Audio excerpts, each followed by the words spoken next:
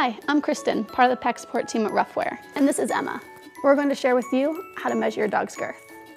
To do this, you can use tailor's tape, or if you don't have tailor's tape, you can use a long string and measure it later. To measure, take your tape and wrap it around the widest part of the dog's rib cage, which is usually the chest area right behind the front legs. If you're using string for your measurement, mark on the string the length that fits around your dog's girth and use any household measuring tool to measure the girth. Once you have your measurement, refer to our sizing chart to determine which size will best fit your dog. Since Emma is 25 inches, she'll best fit into a size small. If your dog is in between sizes, opt for the larger size.